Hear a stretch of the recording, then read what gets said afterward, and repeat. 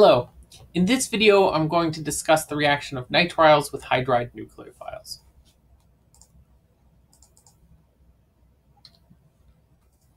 So, uh, take a nitrile. So we use isobutyronitrile.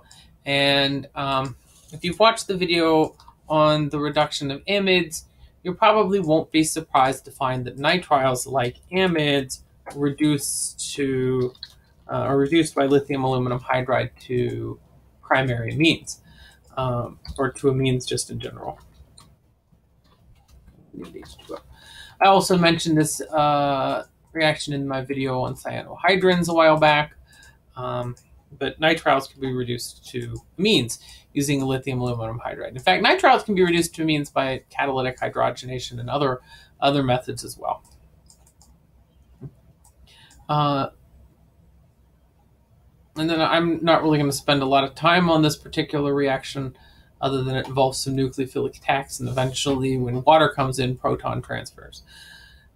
What I do want to talk about though is that like some of the other functional groups, nitriles can be reduced by diisobutyl aluminum hydride. And this reaction stops, or this reaction generates not uh, an amine, but an aldehyde after acidic aqueous hydrolysis. And I need to go and uh, make it clear that we're talking about acid now and not just water. And then this reaction is enabled by the fact that diisobutyl aluminum hydride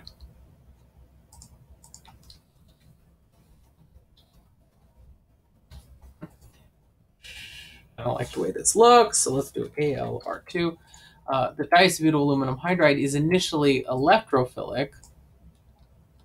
Uh, and so while the nitrile is not a stellar nucleophile, it's it can be a nucleophile. There are lone pairs on that nitrogen.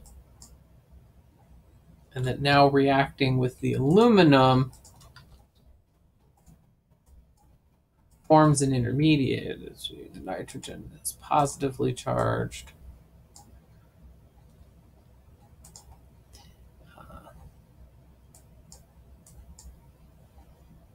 Hydrogens here.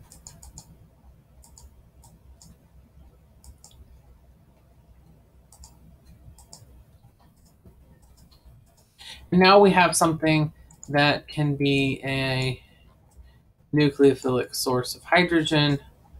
Um, and you can get to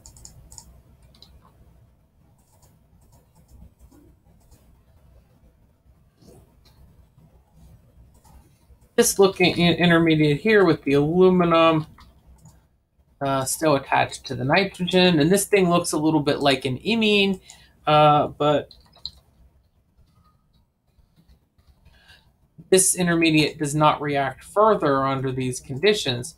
Uh, and so, actually, let's leave that up here. And so once you add acid to the reaction,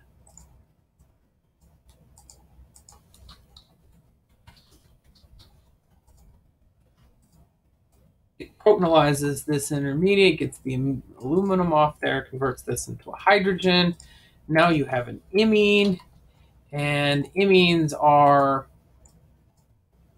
you know, imines undergo hydrolysis in aqueous acid to form aldehydes. So this is how this works.